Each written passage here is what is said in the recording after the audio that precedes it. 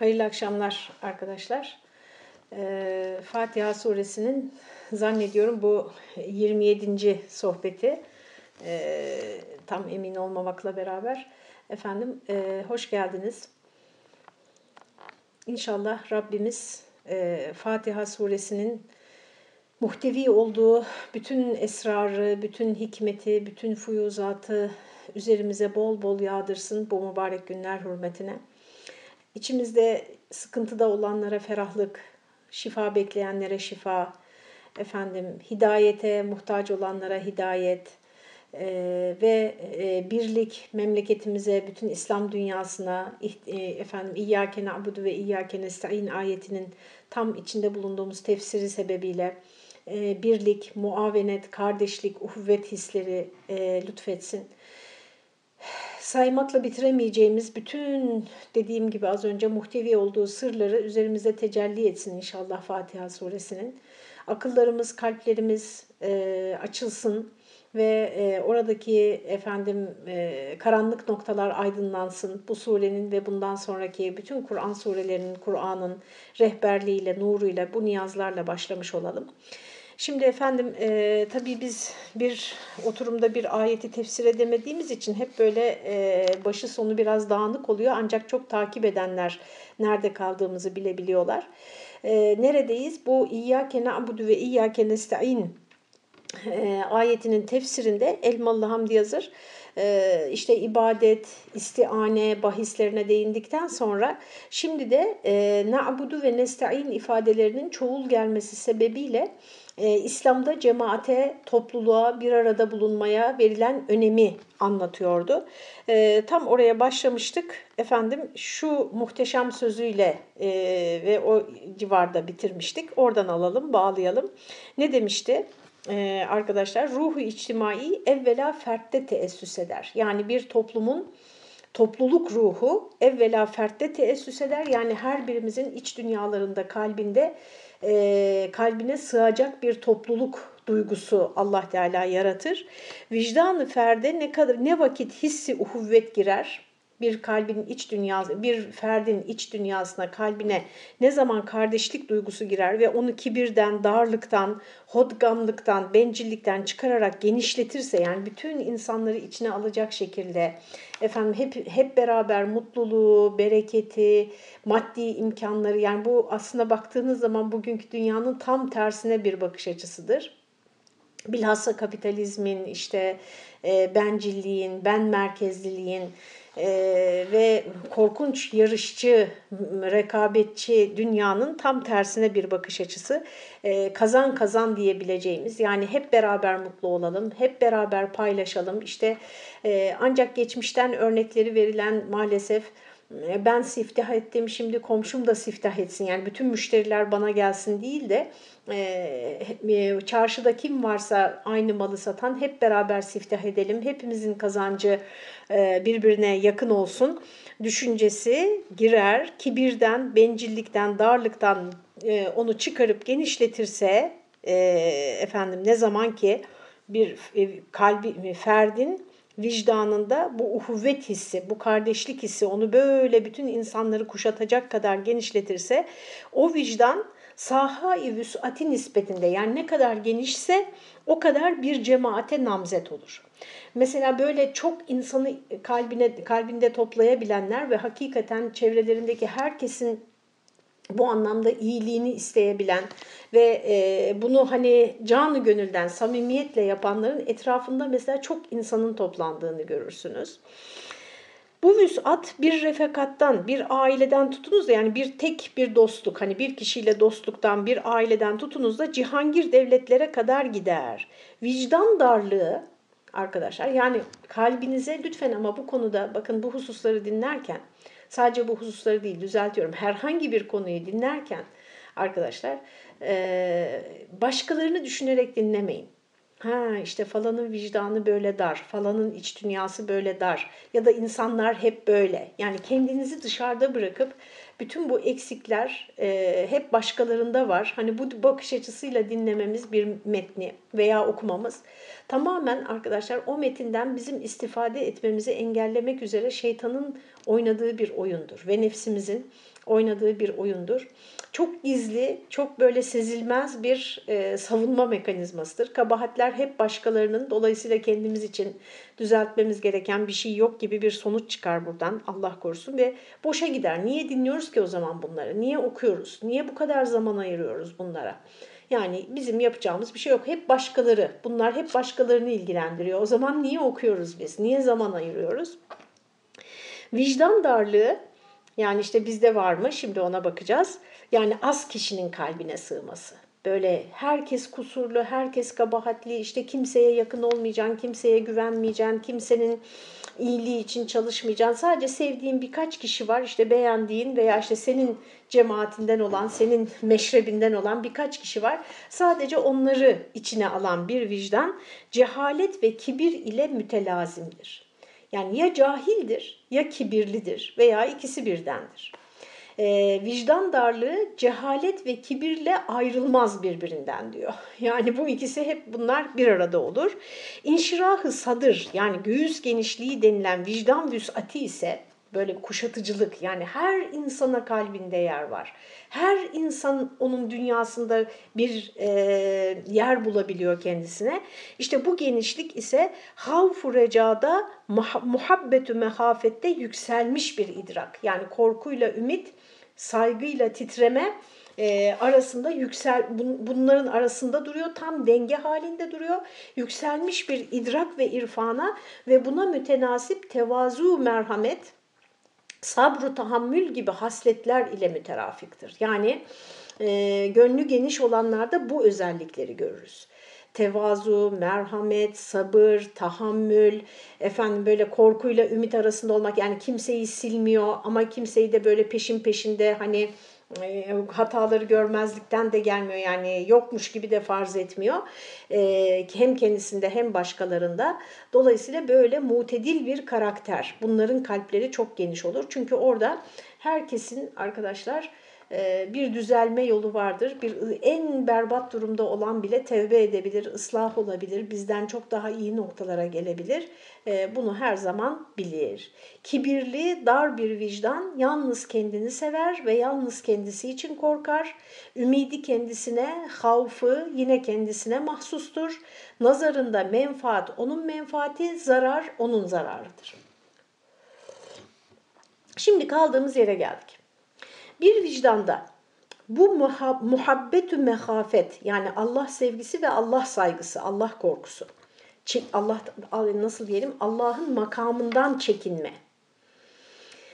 Yükselip de yani hem sevgi çok yükseliyor kalbinde hem saygı, hürmet çok yükseliyor ve bir çekinme, bir korku duygusu yükselip de bir diğerini dahi kendisi gibi la akal kendisine müsavi bir kıymetle görmeye yani bir başkasını da en az kendisi kadar kıymetli Allah katında görmeye ve onun menfaatinden kendisinin gibi memnuniyet, zararından kendisinin gibi mahzuniyet duymaya başlarsa.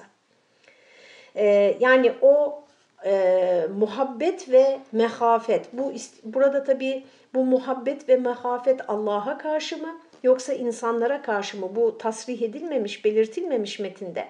Fakat ben öncelikle bunun havf ve reca dediği için yukarıda e, Allah karşısında korkuyla ümit arasında olmamız e, başta olmak üzere bütün insanlara karşı da böyle. Yani bir çekinmemiz var onlardan bir çekiniyoruz. Acaba bir zarar gelir mi? Yanlış bir şey, yanlış bir ilişkiye girer miyim?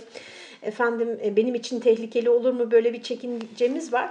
Ama bir taraftan da insan olmaları, Allah'ın kulu olmaları, işte yaratılıştan gelen veyahut da yaşadıkları şartlardan gelen bir takım eksik ve noksanlar yüzünden şu anda içinde bulundukları bu durumda olabilirler vesaire.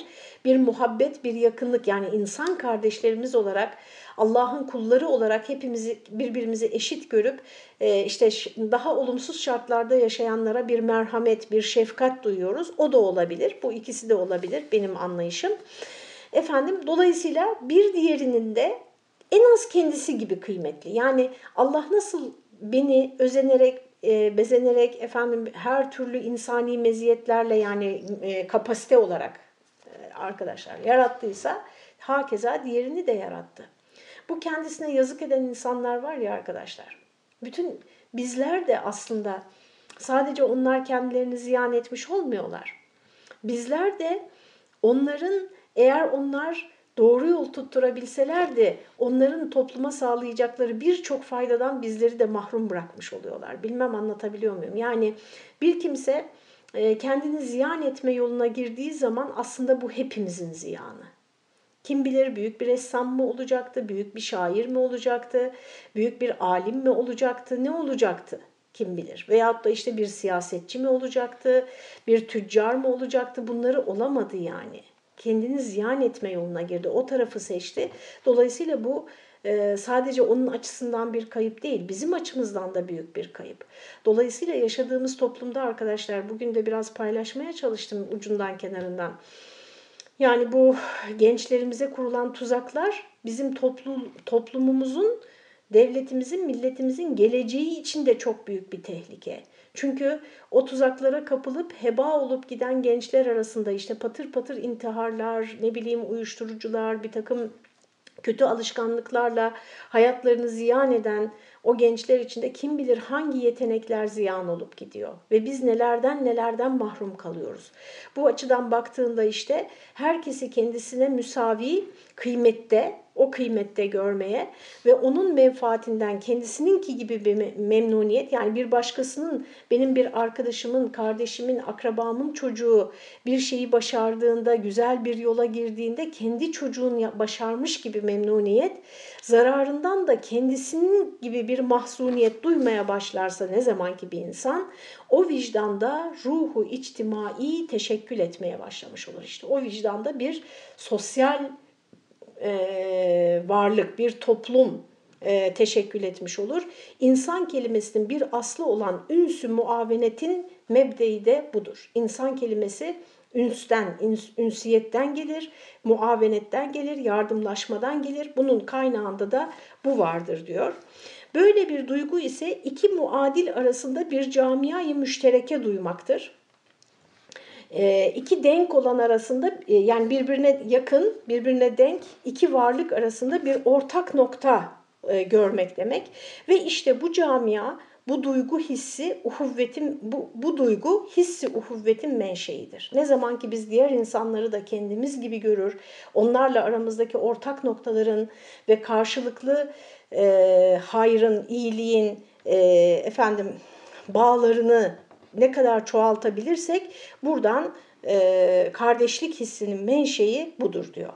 Bu his fiilen yaşandıkça ne kadar gerçeğe dönüştürülürse sadece lafta değil de amele, hayata dönüştürülürse bu da ne demek arkadaşlar?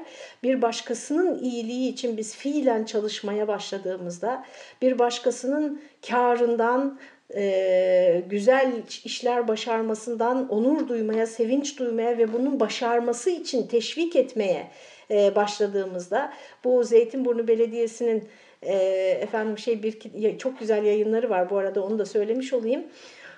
Onlardan birisi e, ders ile sohbet arasında diye kalınca kallavi bir kitap. Orada arkadaşlar Osmanlı'da e, himaye meselesini anlatıyor. İlimde ve sanatta işte e, siyasilerin, bürokratların, paşaların, varlıklı zengin tüccarların, ileri gelenlerin yani ama özellikle siyasilerin ve bürokratların e, yetenekli bir takım insanları nasıl himayelerine alıp konaklarında, sarayda, efendim veya işte kıymetli e, hocalarla onları tanıştırarak, buluşturarak nasıl geliştirdiklerini anlatıyordu. Yani mesela sizler ve bizler bak şu anda burada 700 kişiye yakın insan var. E, farz edelim ki bu 700 kişiden 50 tanesinin hali vakti yerinde ve bir kişiye böyle destek olabilir. Mesela 50 kişi arkadaşlar bir sanatçı yetiştirseydi, bir yazar yetiştirseydi, bir ne bileyim film yapımcısı yetiştirseydi, bir işte siyasetçi, bir bilim adamı, işte buluşlar yapan, insanlığa katkı sağlayan birilerini yetiştirseydik, 50 kişi çıkarsaydık yani şu topluluktan. E, o demek bu biliyor musunuz? Yani kendi kusuruma bakmayın ne olur da hani bizim belki de pek bir şey olmayacak çocuklarımıza yaptı, akıttığımız servetlerin e, dörtte biriyle çok büyük e, kabiliyetler yetiştirme şansımız bile olabilirdi. O konuda maalesef e, odak noktamızı da kaybettik. İşte bir talebeye bugün bilmiyorum burslar ne kadardır. Zamanında 100 liraydı. Ayda 100 lira vererek işte şu kadar talebeye burs verdik diye. Hadi şimdi 300 olsun 500 olsun şu kadar talebeye burs verdik diye. Efendim e, sene sonunda böyle afişler asıyor STK'lar. Mesele e, ondan çok daha ileri boyutta arkadaşlar. Bu his fiilen yaşandığı zaman bu dayanışma hissi ve bir başkasının başarısına hakikaten katkıda bulunma iste, e, fiili o camia kuvvet bulur. Bu his, bu camia ne kadar vüsat peyda eder, genişler yani, ne kadar kuvvet bulursa bu kardeşlik hissi, bu dayanışma hissi, birbirinin elinden tutma hissi ne kadar kuvvet bulursa kibir o nispette tenakus eder, azalır. Ve içtimaiyet ve medeniyet yani sosyal hayatın kuvveti ve medeniyetin gelişmesi o nispette vüsat ve kuvvet peyda eder. Sosyal dayanışma gerçek bir millete dönüşür, gerçek bir topluluğa dönüşür, bir cemaate dönüşür. O yığın yani normalde bir yığın olan insanların bir arada olması bir cemaate, bir topluluğa, bir millete dönüşür ve oradan e, efendim bir medeniyet neş'et eder. Bu ruhi içtimainin, bu sosyal ruhun teessüsü evvel emirde fıtratta bir mevhibe-i Rabbaniye yani içimize koyuyor çekirdeğini nüve olarak Rabbimiz içimize koyuyor. Çünkü yalnız olmak istemiyoruz. İnsanlarla beraber yaşamak istiyoruz. Ve derece-i saniyede ve ondan sonra ikinci derecede muhitin bir inikasıdır.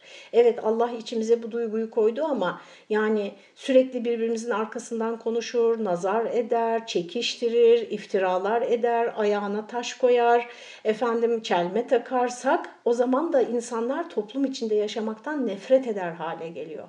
Bir topluluğa ait olmaktan, ne bileyim bir şirkete ait olma hissini, bir okula, bir kuruma, ait olma hissini e, ve sadakat duygusunu yani e, vefa duygusunu yaşamak yerine tam tersine kendisine orada yazık edildiğini, ömrünü ziyan ettiğini, işte kendisinin harcandığını vesaire düşünüyor ve oradan da parçalanma doğuyor.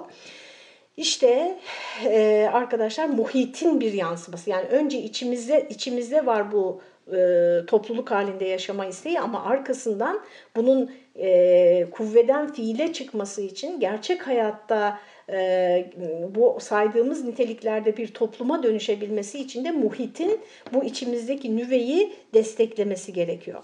Ve her iki noktayı nazarla terbiyeyi fıtriye ve kesbiyeden müteessirdir. Yani hem fıtri terbiyemiz yaratılıştan gelen ahlakımız hem de kesbi terbiyemiz yani sonradan aldığımız eğitim bir başkasını düşünmek, empati, fedakarlık, saygı, bir başkasının sevinciyle kendini de sevinmek, onun üzüntüsüyle sen de üzülmen vesaire. İşte bu, bu biraz da terbiyeyle de, muhitten görmeyle de alakalıdır. Şimdi aklıma bir örnek geldi. Çok hoş olmuyor böyle çok kişisel örnekler vermek ama çok güzel bir örnek. Onun için paylaşmak istiyorum müsaadenizle. Çok çocuklar küçüktü. Bir gün kek yaptım. Kek yani bildiğiniz kek, sade bir kek. Dediler ki bunu yalnız mı yiyeceğiz? Yani bize mi yaptın hani? Evet dedim yani. Ama olmaz ki dediler ya komşu annemiz vardı o zaman ya komşu anneye gidelim ya komşu anneyi bize çağıralım. Yani yalnız başımıza kek yenir mi yani? İşte bu e, yani buradan tabii kendime de çok pay çıkarmış oluyorum ama kusura bakmayın ne olur biraz e, hoş olmayan bir örnek oldu. E, bu öğretilecek bir şeydir arkadaşlar. Evet insan sosyal bir varlıktır. İnsanlarla paylaşmaktan, beraber olmaktan haz alır ama insan insanın kurdudur derseniz ve öyle yaşarsanız o bir nefrete de dönüşebilir. Yani bu fıtri eğilimin, insandaki bu fıtri eğilimin kesbi olan terbiye ve eğitimle ve muhitin etkisiyle desteklenmesi gerekir. İşte vicdanında böyle bir ruhu içtimai teessüs etmiş olan fert, vüsat ve kuvvetin nispetinde bir heyeti içtimaiyenin teşekkülüne mebde olur. Yani bütün o bütün insanları içine alabilecek kadar geniş bir kalbe sahip olan kişi büyük bir toplumun kuruluşuna kaynak bile teşkil edebilir. Yani tek başına bir kişi büyük bir cemaat, büyük bir topluluk e, oluşturabilir. Bu vicdanın duyduğu o camia hamil olduğu muhabbet ve mehafetin esası neyse hissi uhuvvetinin derecesi o ve namzet olduğu cemiyetin hududu da odur. Yani muhab e, insanlara duyduğu muhabbet ve mehafetin veyahut da insanlara demeyelim çünkü sınırlamamış Elmalı. Kendi iç dünyasındaki muhab muhabbet ve mehafet yani sevgi duyduğu şeyler ve hoşlanmadığı, irktiği, irkildiği, korktuğu, çekindiği şeyler. Bunların esası ne? Neye dayanıyor? Mesela menfaatini seviyor, zarara uğramaktan hoşlanmıyorsa o zaman kuracağı topluluk çok daha sınırlı olur. Çevresi çok daha sınırlı olur. Yani e, arzularının ve istemediği şeylerin, çekindiği şeylerin kaynağı ne? Kaynağı ne? Bu bunun kaynağına bağlı olarak onun kardeşlik duygusu, onun içindeki hissi uhuvvet, kardeşlik duygusunun derecesi ve namzet olduğu cemiyet, yani çünkü bir kişiden bir cemiyet doğar dedik, o cemiyetin hududu da ona göre olur. Dolayısıyla insanın e, nasıl diyelim şimdi buranın e, pratik sonucunu nasıl özetleyelim? Yani sizin e, ait kendinizi ait hissedeceğiniz topluluğun sınırı, genişliği sizin kalbinizdeki muhabbet ve mehafetin neye bağlı olduğuna göredir. O, siz neyleri arzu ediyorsunuz, neylerden uzak durmak istiyorsunuz, korunmak istiyorsunuz. Şimdi pratik bir örnek vereyim buna. Mesela biz bizde arkadaşlar, bizim inancımızda, İslam inancında e, insanın arzu ettiği şey nedir? Nihai noktada yani. Dünyevi ve uhrevi. Allah'ın rızası, hoşnutluğu, yardımı, bereketi, lütfu, ikramı yani her anlamda Allah'a yakın olmak, onun razı olduğu ve desteklediği kullar arasında olmak dünyada ve ahirette değil mi? Şimdi Allah Teala arkadaşlar indirdiği nizamda bunu bizim diğerlerine nasıl davrandığımıza bağlıyor. Diyor ki mesela bir tane örnek vereyim. Efendimiz diyor ki sen diyor bir fakire bir şey giydirirsen o giydirdiğin kıyafetten onun üzerinde bir yamalık kalana kadar yani eskimiş, eskimiş, eskimiş, eskimiş şu kadar bir parça kalmış. Onu da üstündeki başka bir şeye yamamış. O kadar kalmış yani. O kalana kadar e, melekler senin için istiğfar eder diyor. İşte yeryüzündekilere merhamet etmezsen gökyüzündekiler sana merhamet etmez diyor. Dolay yani yüzlerce böyle hadis-i şerif var, ayet-i kerime var. Mesela Allah Teala diyor ki insanları affedin işte ifk hadisesinden sonra. Sonra diyor ki ela tuhibbune en yağfirallahu lekum. Allah'ın sizi affetmesini istemiyor musunuz yoksa diyor. Siz insanları affedemiyorsunuz. Yani benim Allah'ın rızası benim en yüksek hedefim ve o rıza da benim Allah'ın kullarına vereceğim sadakaya, zekata, yardıma, affa, himayeye, işte desteğe, onlardan alacağım duaya falan bağlı. O zaman ne oluyor sizin kalbiniz arkadaşlar? Nasıl genişliyor? Bütün insanları içine alacak kadar genişliyor. Ve e, az önce dediğim gibi kendine ziyan edenler için bile e, sizin hani orada bir dahliniz yok, bir şeyiniz yok ama üzülüyorsunuz. Bu suretle muhtelif milletleri ayıran muhtelif ve müteaddit camialar, topluluklar ve onunla mütenasip ruhlar teşekkül eder. Ve bir camia ne kadar tahassüs ederse, ne kadar böyle hususileşirse bir topluluk, işte şöyle eşarbını takanlar, işte şu, şu e, namazın namaz kılarken ellerini şuraya koyanlar, ondan sonra veyahut da ne bileyim işte şu şekilde selam verenler, e, şunu caiz görenler ya da görmeyenler gibi böyle birçok şartla böyle daraltırsanız e, bir topluluk anlayışınızı ruhu içtimai o kadar daralır. Yani şartlar arttıkça sizin e, top, sizin e, toplumunuza ait olma şartları arttıkça sizin toplumunuzun genişliği o kadar daralır. Ve umumi olan camiayı parçalar, cemaatini, ihvanlarını da o nispette azaltır. Fakat bunda ne muhabbet ne de mehafet, ne menfaat ne zarar bütün hududuyla temin edilmiş olmaz. Yani dünyevi açıdan şimdi düşünelim ne kadar daraltırsan etrafındaki topluluğu Onun içinde işte başarılı, e, toplumunu geleceğe taşıyacak olan insan veya işte yaratıcı zeka, işte ne bileyim bilim insanları veyahut da e, büyük başarılar ortaya koyacak, büyük eserler ortaya koyacak, ardından kitleleri sürükleyecek insanların çıkma ihtimali o kadar azalır. Ve sen arzu ettiğin şeylere o kadar az ulaşırsın.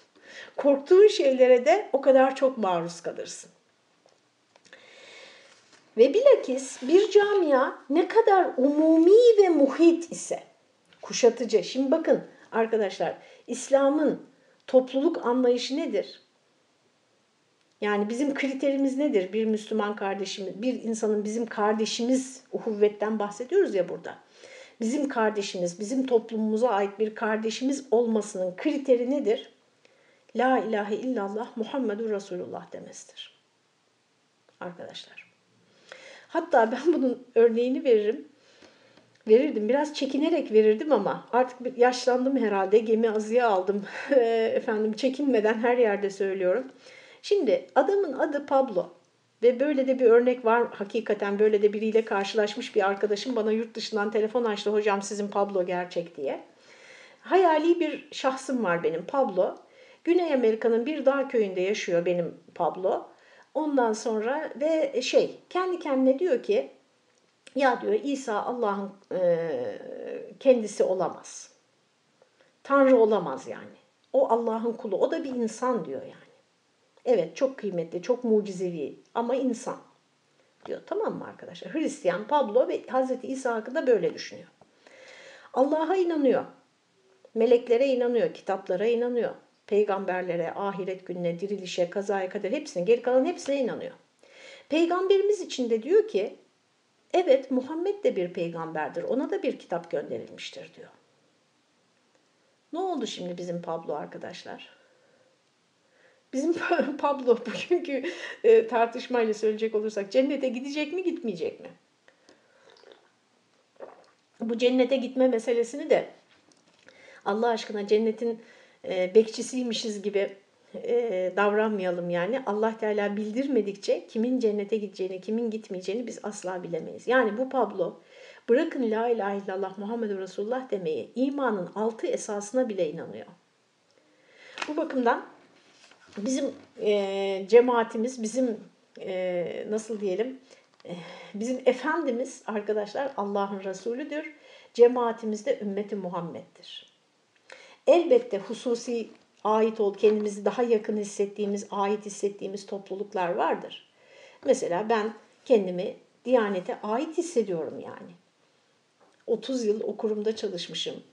Efendim bütün şeyine rağmen yani resmi bir kurumdur, bürokrasidir, işte ağırdır vesaire hepsi hepsine rağmen ben kendimi onlara ait hissediyorum. Oraya ait hissediyorum. Hoşunuza gitsin gitmesin. Herkesin yani böyle küçük toplulukları olabilir. Akademiye ait hisseder, bir tarikata ait hisseder. O önemli değil. O, o bizim küçük muhitimizdir. Ama siz hak yolda olmayı sadece mesela ben şöyle dersem hak yolda olan sadece diyanet mensuplarıdır dersem işte o zaman ne yaptım? Daralttım. Arkadaşlar hak yolda olan e, bir de hak yolda olanların hepsi de eşit midir?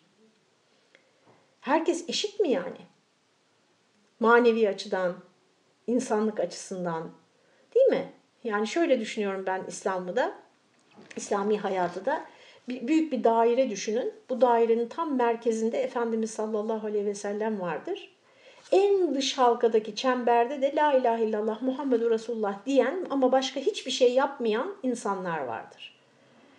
O dış çemberden merkeze kadar hepimiz çeşitli noktalardayız arkadaşlar. Ve hareket halindeyiz. Burada önemli olan bu hareket merkeze doğru mu, çepere doğru mu? Dışarı doğru mu yani? Önemli olan da budur. O en dış halkadakileri de küçümsemeyin. Onlar da dışarıdan geçenleri bazen kolundan tutup içeri atabilirler yani. içeri çekebilirler. Her birinin kendine göre e, bir misyonu, bir görevi var arkadaşlar. İşte eğer bir camia ne kadar umumi ve muhit, kuşatıcı ise arkadaşlar, ruhu içtimaisi o kadar genişler. Ve hususi camiaları o nispette bel ederek yükseltir. Kendine katar, katar, katar ve yükseltir. Küçük küçük topluluklar her zaman olacaktır. Bunlara biz ne diyelim? Kulüp gibi böyle işte insanların ait kendilerine ait hissettikleri küçük mahalli, yerel bir araya gelişler. Çünkü insan ona da muhtaçtır yani. Her zaman ben işte ümmeti Muhammed'e aidim deyip ama tek başına da olmaz. Daha o fiili anlamda bir topluluğa ait olma ihtiyacı insanda çok kuvvetlidir arkadaşlar. Çok kuvvetlidir. Çok çok azdır lider ruhlu insanlar, başkalarıyla beraber olmasa da hayır yolunda devam edebilecek olan insanlar.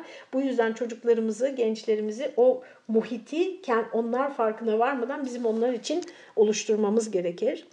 Muhabbet ve mehafet, menfaat ve mazarrat da aksayı hududuna dayanmış olur. Şimdi düşünün bu durumda ben arkadaşlar dünyanın her yerindeki müminler benim kardeşim. Onların başarısı benim başarım. Onların başına gelen bir üzüntü benim üzüntüm. İşte bir buçuk milyara yakın tam bir buçuk milyar değil İslam dünyası arkadaşlar her haliyle onlardan birisi bir şey başardığında ben kendimi iyi hissediyorum. Siz de öyle hissediyorsunuz mutlaka. O derecede efendim e, onun muhabbeti ve yani elde ettiği bu muhabbet sebebiyle elde ettiği kazanç ile çekincelerinden korunma noktasında e, azami noktaya, azami verimliliğe ulaşmış olur. Bunun için cemiyeti büyülten, küçülten en mühim sebep ruhu içtimaisindeki dereceyi vüsat ve kuvvette aranmak lazım gelir. Yani her bir bireyin kalbindeki o e, kapsa, e, kapsayıcılık ne kadar yani? Ne kadar kişiyi kapsıyor? Değil mi? Bunu böyle masa başında anlatmak kolay da işte Suriyeliler şöyle olsun böyle olsun memleketine gitsin öteki de gitsin. Yalnız o gitsin diyenlerin de belki ataları yani şundan 50-60 yıl önce başka bir yerden geldi belki onu da söyleyeyim. Ee, hadi en fazla bin yıl önce hepimiz bir yerden geldik değil mi arkadaşlar? O, eğer herkes ait olduğu yere dönecekse topluca bizim de Orta Asya'ya dönmemiz gerekebilir yani bu durumda. Camiada vusat var da vicdanda kuvvet yoksa. Camia geniş fakat kalplerde kuvvet yok. O cemiyet idare edilemez, dağılmaya, küçülmeye mahkum olur. Vicdanda kuvvet var fakat camiada vüsat yoksa yani fertler kuvvetli ama camia çok dar ise o cemiyet büyüyemez. Akıbet büyük bir cemiyetin beline uğrar. Yani büyük bir cemiyet tarafından yutulur diyor Elmalı Hamdi Yazır. Bu akşam biraz erken bırakacağım. Arkasından da başka bir ders olduğu için arkadaşlar. Hakkınızı helal edin. Üzerinde düşünelim. Ee, Rabbimiz hepimizin kalbine her anlamda, her anlamda genişlik versin inşallah. Allah'a emanet olun. Hayırlı akşamlar.